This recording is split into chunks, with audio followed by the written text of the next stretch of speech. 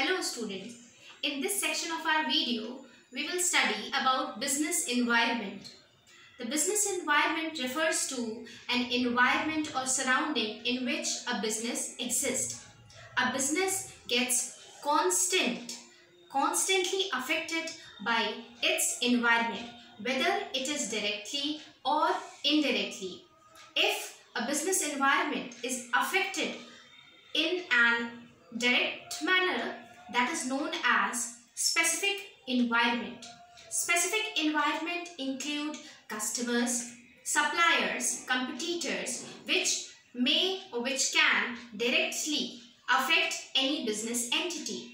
Whereas indirectly affecting factors are the technological factors, the, governmental policies or any other economical, social, socio-cultural factor, etc.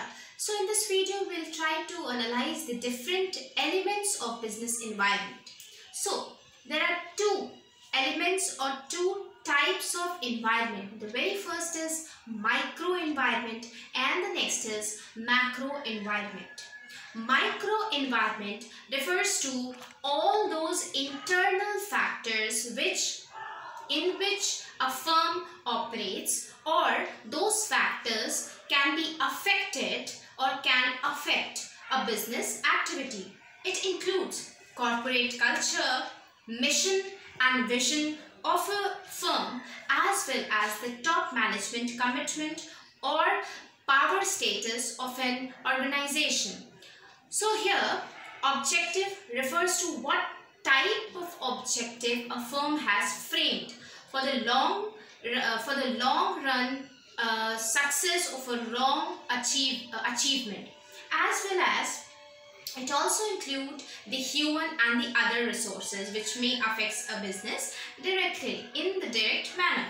Whereas external factors, external factors as I told you these are the specific factors which will directly affect business activity.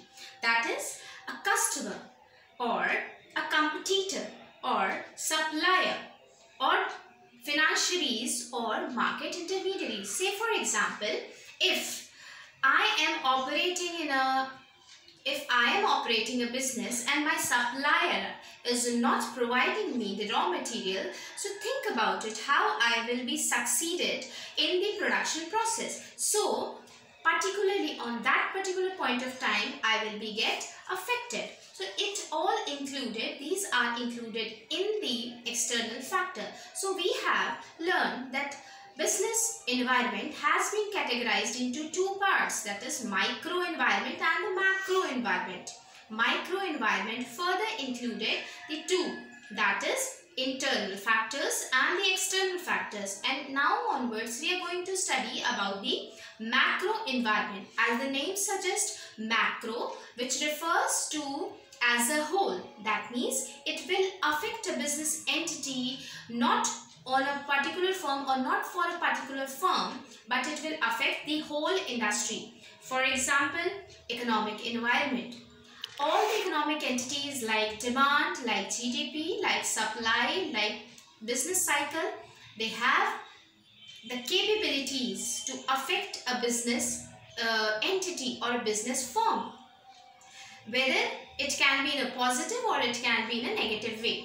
Then the next is social environment all the social, culture, custom, tradition, festivals, lifestyle, all these things are included in the social environment. Say for example, nowadays people are more conscious about their living or their, their lifestyle, the healthy lifestyle. So they are moving towards the healthy lifestyle. So it's a trend, it's a social trend.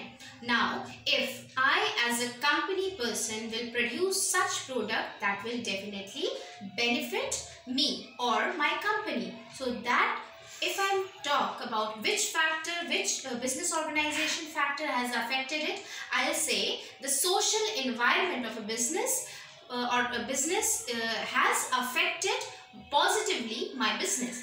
Then the next is technological environment. It includes all the technological upgradation, all the advancement, innovations in the technological sectors. Say for example, it is always appreciable that the firm must opt those uh, production process or those techniques which are new, which are not obsolete. Technology gets obsolete. Obsolete refers to technology loss its value very quickly. So in order to survive in the market, we have to cope or we have to adopt the new technological changes. That refers to the technological environment.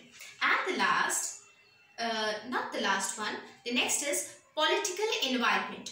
Political environment includes the outlook of political parties. What, uh, whatever political parties we have elected, they have different outlook towards the different sectors of the business. So, here if we have elected a particular party and they have a positive outlook to our business that automatically will affect our business positively. And if a political party does not have a political a positive outlook for our business that environment will be definitely negatively affect our business. Then the next is legal environment. This is very important. It includes all the laws legislations orders and judgment which is passed by court honorable court as well as the other authorities. We have to follow this. If we will not follow these jurisdictions or if we will not follow these rules and regulations, we will get punishment by the court. So, all the business have to follow the law of land. So, these were the different five types of elements in the macro environment. So, students, this is very important to know that while we are studying this chapter, in order to survive in the market, you have to know, you have to scan the business environment.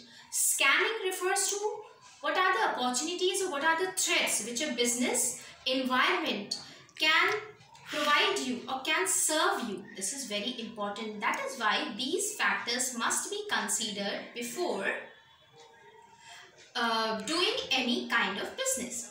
Then the next topic is SWOT analysis. This is S-W-O-T. SWOT refers to the abbreviation of SWOT is the very first is S refers to the strength. Strength of a business means that the innate capabilities which a firm is dealing with. And the next is W that is weakness. Weakness are the drawbacks which a firm can't handle. Then the next is opportunities. Opportunities refers to positive trend which a business can grab. And the last is threat. Threats are the negative trends which a business or business environment can give to a to any particular organization or to any particular business entity. So it is also very important and it's also part of business environment that the SWOT analysis must be done. Each and every company nowadays do SWOT analysis. These are also known as SWOT auditing. So, in this video, we have learned about business environment, its different elements as well as SWOT analysis. Hope you like this video. Thank you.